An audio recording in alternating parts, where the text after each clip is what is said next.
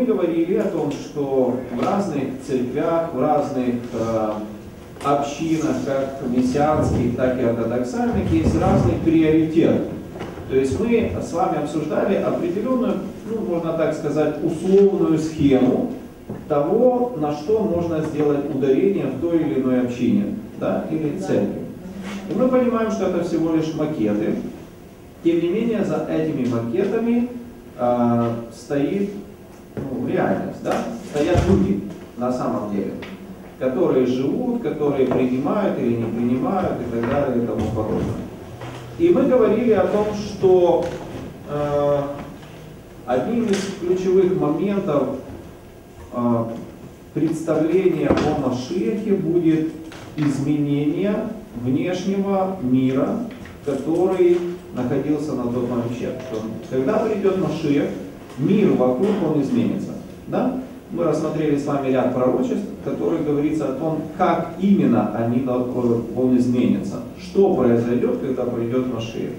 И мы говорили о том, что мессианские чаяния многих религиозных течений, или скажем не многих, э, мы сегодня поговорим об этом больше, э, они разочаровали в каком-то смысле, когда пришел Ишуа, да? Они были разочарованы. Почему? Потому что они не видели волка, который кушает с ягненком, да, льва, который ест траву и так далее. Они не видели мир во всем мире и так далее. Хотя говорили, если еще Машия, где это? И мы закончили тем, что мы увидели такой простой момент, то, что Бог э, направлял на самом деле также в этих пророчествах все то, что происходило, события будущего времени, на один из ключевых моментов, вообще ну, как бы, центральной, можно так сказать, идеей, мыслью или опорой, это изменение сердца. Да? Что большее внимание Бог уделял не изменению внешнего мира физического, но он говорил о изменении внутреннего сердца человека. То есть и в этом есть, слава Богу, очень много благодати, потому что мы можем увидеть, что Бога интересует человек больше, чем все остальное. Это один из моментов, которые ну, как бы радует нас, сам, сама идея завета, да, что это завет с личностью, Бог заботится о личности в первую очередь, а все остальное прилагает. И мы закончили наши занятия таким моментом, потому что центром Нового Завета является внутреннее преобразование человека. То есть все, все действия Ишуа, он не просто пришел, можете посмотреть на его служение, он не просто пришел, чтобы исцелить, потому что фактически его служение было ограничено во времени, в пространстве, да, вы понимаете, что он не мог быть одновременно и и в Израиле, например, и там на Украине. То есть он был в Израиле. Все. Вот кто там доковылял к нему каким-то невероятным способом, он их исцелил, если у них была вера, да? А нет, так и нет. И сейчас э, в отношениях Нового Завета Бог расширяет, можно так сказать, сферу своего влияния. Это тоже одно из благословений. Смотрите, э, Раньше место поклонения было определено четко Богом. Ты не мог принести жертву, где попало. Не имел права. Жертву нужно было принести в указанном Богом месте, да? то есть в Израиле, в Иерусалиме конкретно. Э, был, была своя система жертвоприношения, был порядок, какая должна быть жертва и так далее и тому подобное. Сейчас мы можем приносить жертвы Господу на любом месте в Новом Завете. Да? То есть, какими могут быть наши жертвы?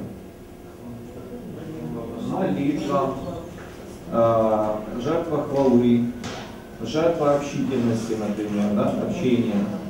Вы знаете, что есть люди, с которыми ты общаешься, ты понимаешь, что ты сейчас реально просто, это просто жертвоприношение Исаака. Понимаете, да? Но на самом деле, то есть, как бы, мы можем священно действовать перед Господом во всяком времени. Заметьте, да? Раньше не во всякое время. Во всякое время во всяком месте и каждый человек. Раньше было только, э, только левиты, да? То есть мы знали, что они были коленом, которое было отделено для того, чтобы служить в храме всему остальному народу. Мы можем теперь служить всем остальным народам. То есть эсхатологическая перспектива расширяется. Расширяется. Это постепенно раскрывающееся откровение о Божьем Царстве. И мы снова можем с вами посмотреть, да, некоторые моменты, которые говорят пророки Иеремии, Иеремия, Иезекииль, они видят такой интересный момент, что Новый Завет, он связан с возвращением евреев в землю израильскую. Иезекииля 36, 24. «И возьму вас из народов, и соберу вас из всех стран, и приведу вас в землю вашу». То есть мы видим, что алия или возвращение это также является частью Нового Завета. И там, допустим, 25 стих. «Я окроплю вас чистую водою, и вы очиститесь от всех скверн ваших и от всех идолов ваших, очищу вас». И 26. «И дам вам сердце новое, и дух новый дам вам, и возьму из плоти ваше сердце каменное, и дам вам сердце плотяное». Это очень такой интересный момент, связанный с Алией, потому что мы знаем, что э, в общем-то множество столетий Израиль находился без земли. Мы видим, что каким-то сверхъестественным образом, я верю, что Божья воля, Израиль есть как страна. Если вы посмотрите историю, может быть, вот кто не в курсе, я рекомендую вам историю сионизма, историю евреев там, от средних веков, а, то можно увидеть, что это невероятнейший подарок Богу. Невероятнейший. Представьте, что вас гоняли всю жизнь, били в любом кусочке, в любом уголке, где вы только э, могли остановиться, и казалось, вот вот покой, и вас снова оттуда гнали, и ужасно гнали, жестко гнали. И в какой-то момент вы приходите, и вы понимаете, вот ваш дом, отсюда вас не выгнали. Либо у вас здесь уже все, но это ваш дом. Это было невероятнейшее благословение. Мы не видим сейчас, что Израиль а, в тотальном, полном покаянии. Но мы видим, что начало появляться м, такое, такое дело, или такой Божий труд, как мессианские общины. Потому что они были раньше, но их было очень и очень мало. Были, были иудействующие христиане, было, были ну, различные такие вот небольшие группки, но сейчас мы видим по всему миру, Бог конкретно поднимает мессианское движение. Вот просто обратите внимание. И это тоже действие Божье, друзья. Направ... Это милость Божья для еврейского народа. Почему? Потому что Бог обращает внимание на их сердце. Наряду с физическим восстановлением Арец Израиль, Бог восстанавливает народ как нацию, которая способна служить Ему в духе и истине. Не путем старым, не путем, которого уже нет, но настоящим Божьим путем.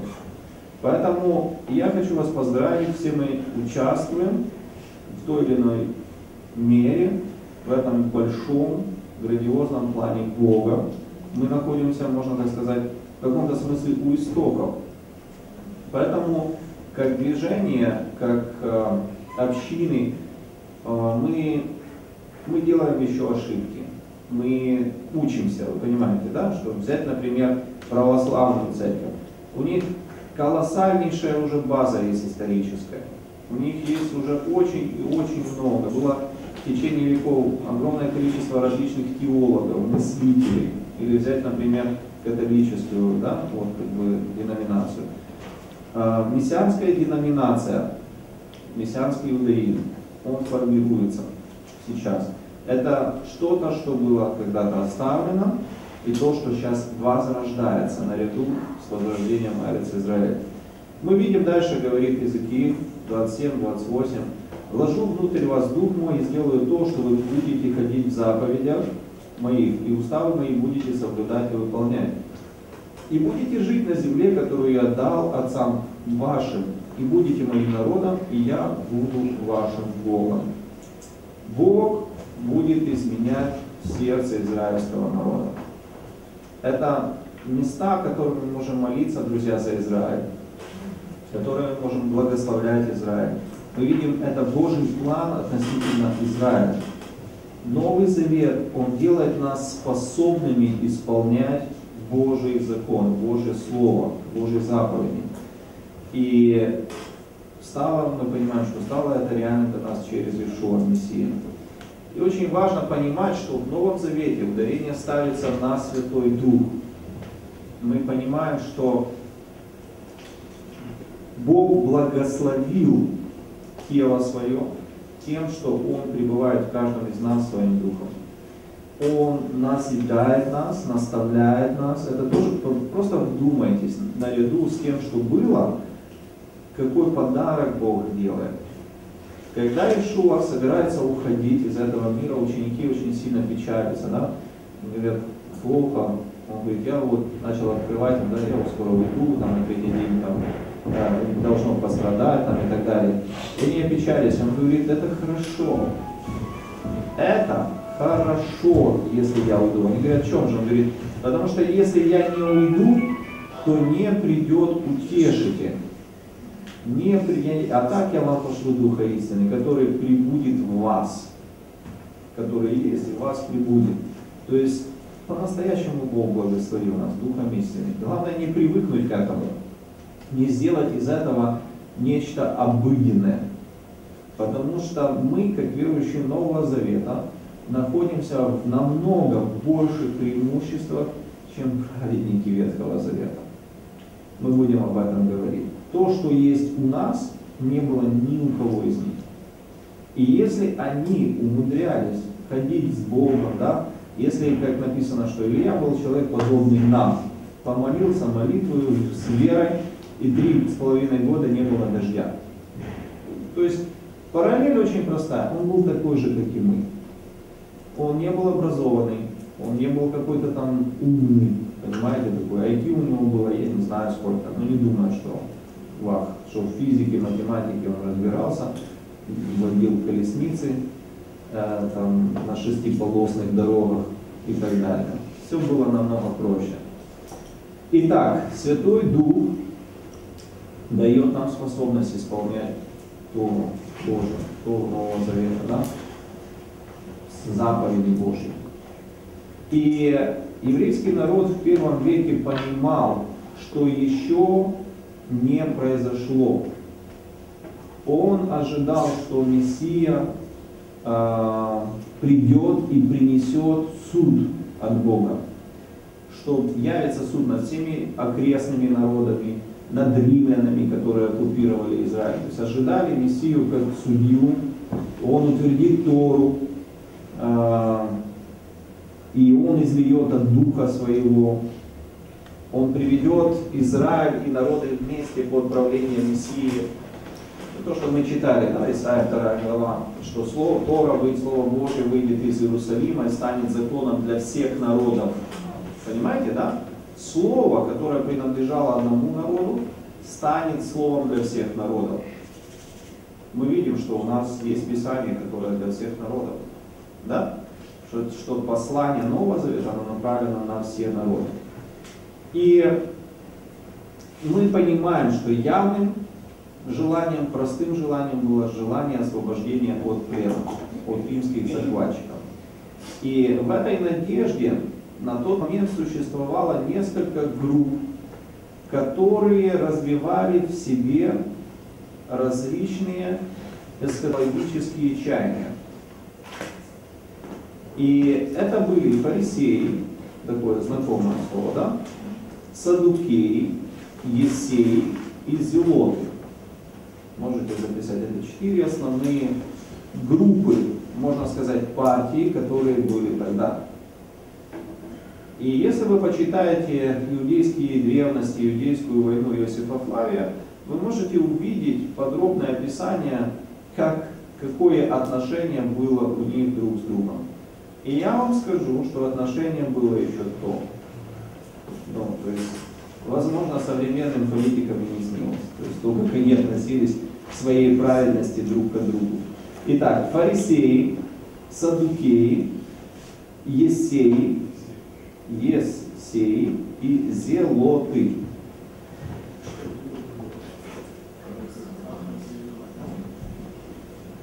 Направление садукеев не разделяло надежды мессианского века. Они не верили в воскресение, в духовную вообще, в духовные какие-то моменты, да? жизнь после смерти. Вы помните, однажды апостол Шауль, да, когда его взяли, он узнал, что половина фарисеев, а половина садукеев, закинул им такую идею. А мне ангел сказал. Вы помните, да? И тем самым он сразу разделил на два лагеря. Потому что фарисеи говорили, если ангел сказал, то ничего страшного, нормально. Садукеи, которые не верили в духовность, да, в духовные все вот такие вот движения, говорили, не-не-не. И таким образом, ну, политика тоже.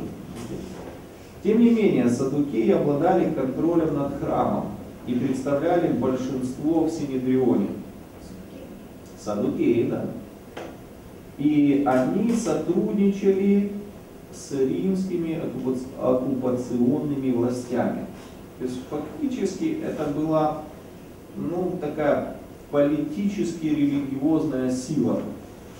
Вы поймите, что храм на тот момент являлся центральным местом. И кто им управляет, да, кто диктует, как бы скажем, теологию на тот момент, соответственно, тот имеет влияние, потому что через храм можно было влиять на весь Израиль. Это было очень стратегическое во всех отношениях место. И занимали его садукеи. Три другие группы составляли план-программу, как привести Машиеха. Вы же понимаете, да? Мы когда-то говорили с вами, что эта идея привести Машиеха она периодически возникала в самых разных течениях иудаизма. Мы говорили о саботарцах, да, последователях саботая цви, которые иногда доходили до безумия, а, делая грех, считая, что если умножить грех, то Машиях придет, видя то беззаконие. И они, короче говоря, со всего разгона, раз, со всем размахом решили, как только могли, лишь бы быстрее пришел Машиях. Понимаете, да, какая такая дикая ересь. Итак, фарисеи верили, что для того, чтобы привести Мессию, нужно, чтобы все евреи в Израиле осветились не только через соблюдение заповедей Торы, но и через соблюдение тех предписаний Торы, которые предназначены для священников. Понимаете, да? То есть они не просто берут программу минимум. Они говорят, если мы, весь Израиль, будем исполнять те заповеди, которые должны исполнять колены, то Бог, видя нашу невероятную святость, вы понимаете, да? High level, такой высокий уровень, Бог точно придет, придет на шею, я вам говорю. Потому что мы все сделаем в три раза больше, чем от нас ожидают. Их идея была вот такая вот достаточно простая. Иными словами, если Израиль вот таким особым образом очистится, он станет достоин пришествия Машиха. В этой партии, фарисейской партии, существовало два течения, два направления – две группы фарисеев. Одни из них были последователями школы Гилеля, и другие были последователями школы Шамая.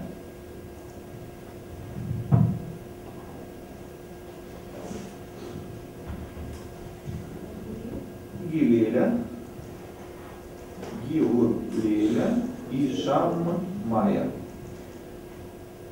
достаточно известные такие школы. Шамай был более строгий, а Гилель более либеральный. Вы можете сейчас в еврейской литературе найти различные такие моменты о том, что там у Гилеля там, например, учили о том, что разводиться там нельзя, например, да? А Шамай говорил, если женщина там, например, ну написано, можно развестись там, допустим, за нечистоту какую-то, да? Что такое нечистота? И вот каждый из них давал там свое трактование понятия нечистоты. Например, одни говорили так, что если там женщина достаточно для развода, например, если женщина три раза там, например, спалит еду во время приготовления, ну, подгорит еда. То есть муж может уже посчитать это нечистотой э, и развестись с ней. Ну, понимаете, да? Другие говорили, нет, но если она спалит там еду, которую она готовила в обед, потому что там тра-та-та, например, это просто я вам, ну, просто говорю как пример подобный э, понимаете, да, там, одни говорили, можно там, например, разговаривать с женщиной, да, другие говорили, нельзя разговаривать. Почему? Потому что там есть свои моменты. Вот, то есть эти школы, они были очень известны и влиятельны в первом веке. И наиболее сильной была группа Шамая. А после первого века группа Гилеля. И они фактически были э, современниками Ишуа. Это тоже важно знать. Важно знать. То есть, если вы будете как-то пересекаться с еврейской литературой, можете увидеть какие-то там высказывания вы можете потом увидеть более слабые высказывания. То есть вы можете понимать, что это из той школы, а это из той школы. Вот так вот. Но тем не менее, две эти группы принадлежали к фарисейской партии. И они учили следующим моментом. Если ты не чист, э, это не означает, что придет огонь с неба и испепелит тебя. А, если ты ритуально нечист, то ты живешь обычной жизнью, но очищение, в общем-то, необходимо тебе для того, чтобы прийти в храм. Мы помним такие что моменты, что в некоторых случаях ритуальной нечистоты необходимо было просто пройти омовение в микве, омыть, написано, омой тело свое, омой одежду, например, свою и так далее. Оно делает тебя нечистым 7 дней, или там до вечера, например, потом в конце ты принимаешь ванну, там, и все хорошо. И у фарисеев была интересная идея, что нужно сделать весь Израиль чистым путем соблюдения ритуальных законов для священника.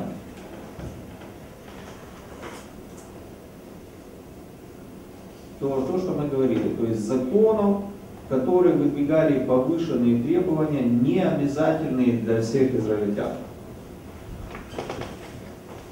Но это было очень и очень тяжело сделать, особенно простым людям, крестьянам, особенно так называемым Амхарец, народом, народ земли. Очень сложно. Потому что, вы понимаете, да, одно дело священник, который, которого жизнь построена вокруг храма, да, и другое дело крестьянин, которого жизнь построена вокруг земли, вокруг его овец, вокруг каких-то там вопросов, которыми он занят. Он не может уделять этому так много времени, как священники.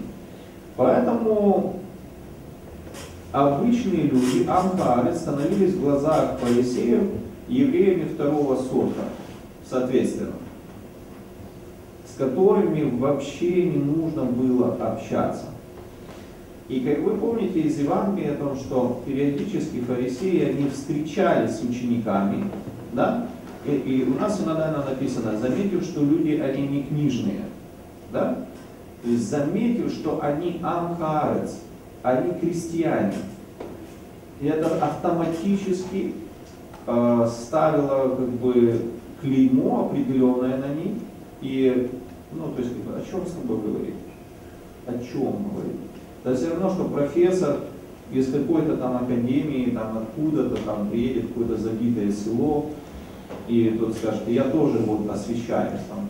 Вы понимаете, да, что на фоне этого профессора, как говорил Голохвастов, помните, что если вы залезете на колокольню, да, или как он там зажигал, и увидите вот этих людей, то они будут в ваших глазах как мыши, да, как пацюки.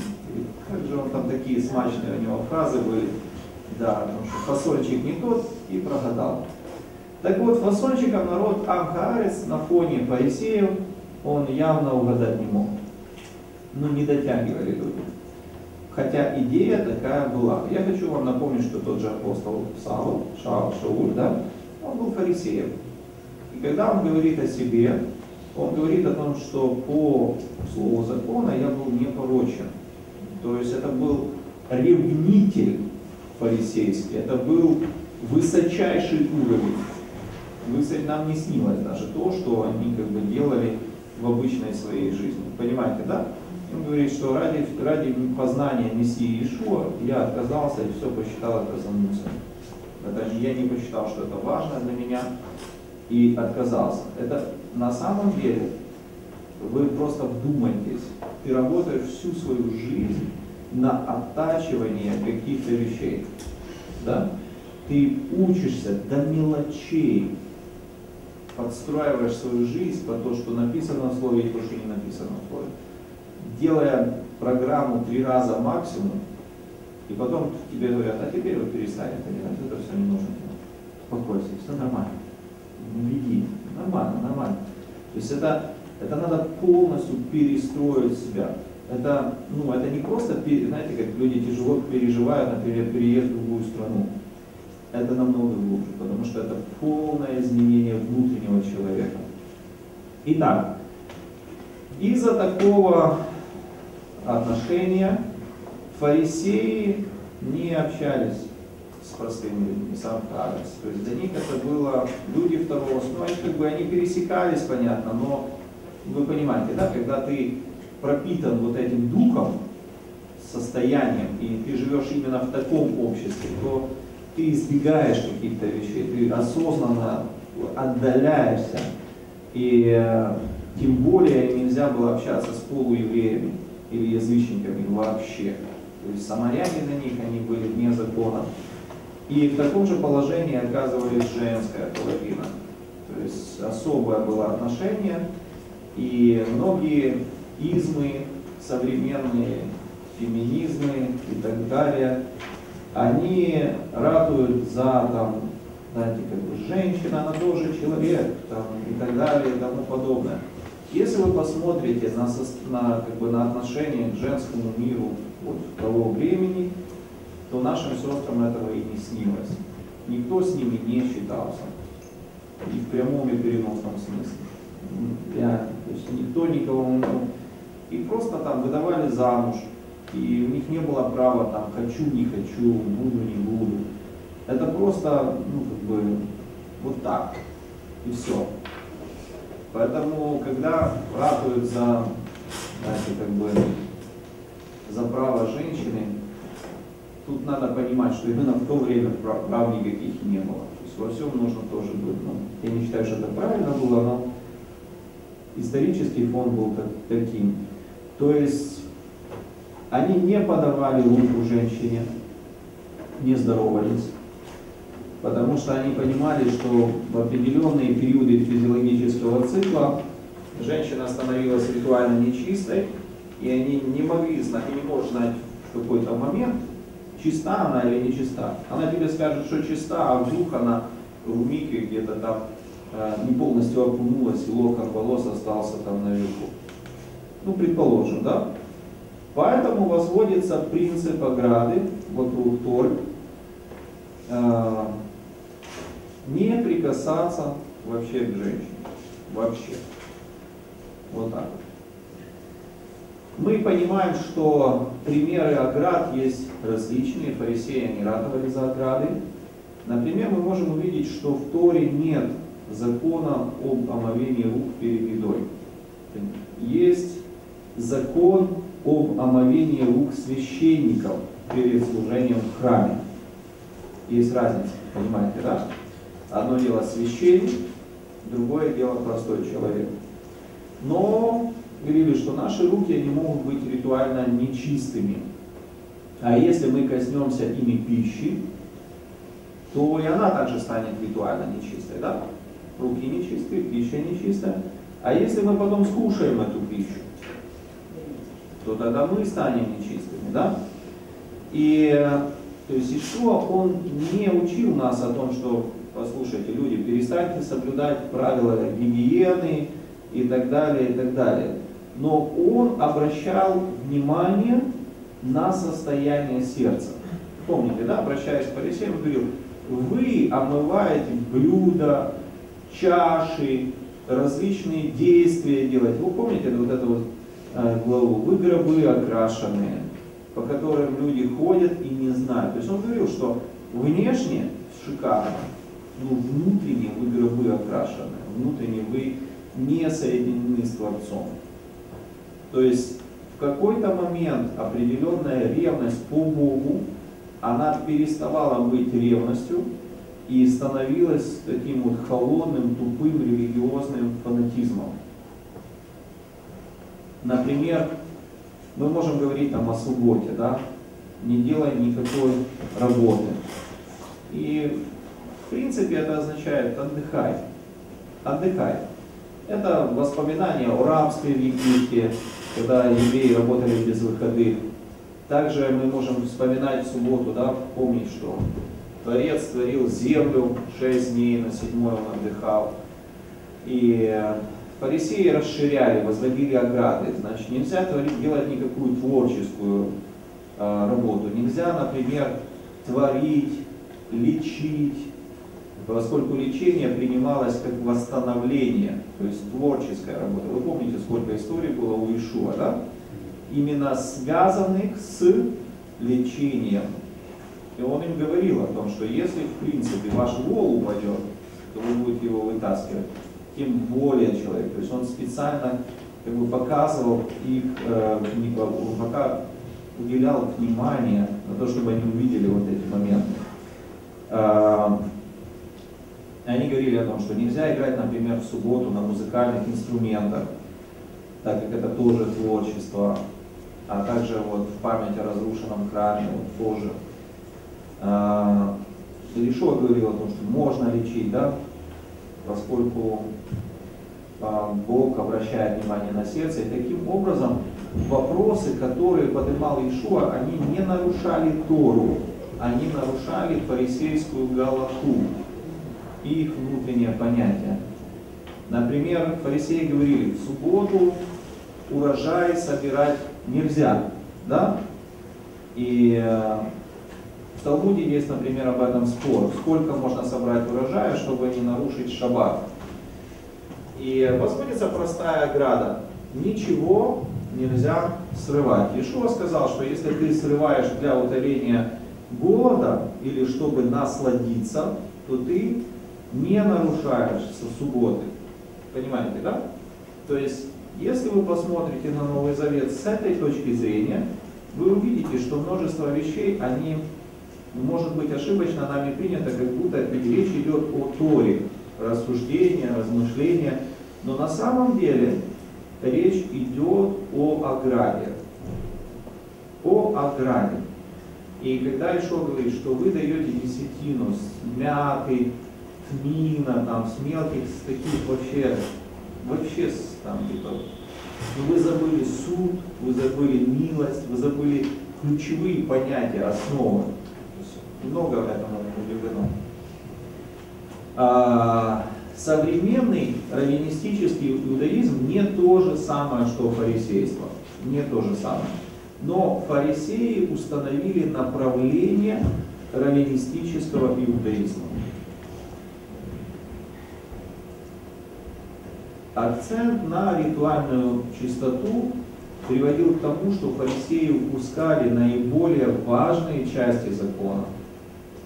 Фарисеи думали, что весь Израиль должен соблюдать все законы о чистоте для священников, плюс все прибавки, которые они создали, и тогда придет Царство Божие.